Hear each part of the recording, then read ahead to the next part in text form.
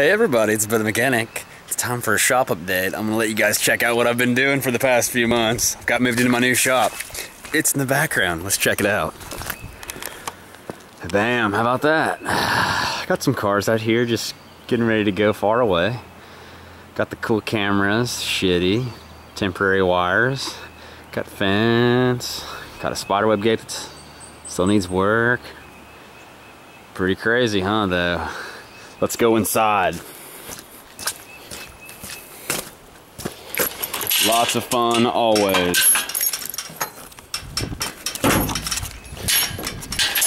I don't have an automatic gate yet. Soon I will, but for now we just do this.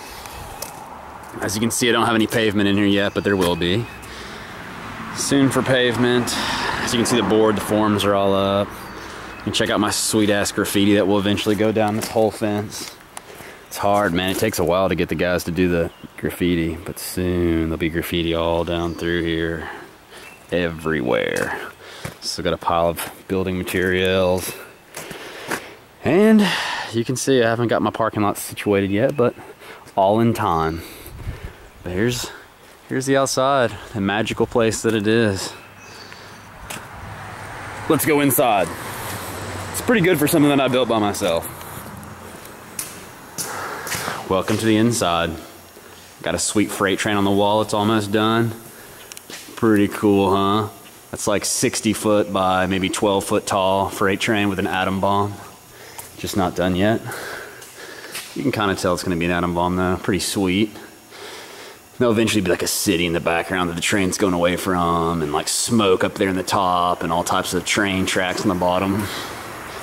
Pretty cool though, man. Here it is. Got my welders and stuff set up.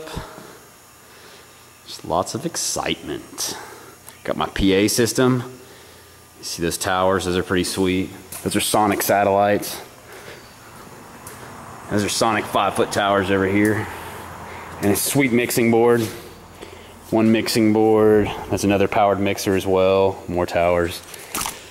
So eventually this place will just be rocking. It'll be like a music venue. It'll push like 100 decibels. It'll be really great, won't it? But anyway, thanks for the update. I'm glad that we got to talk. Look for my next video.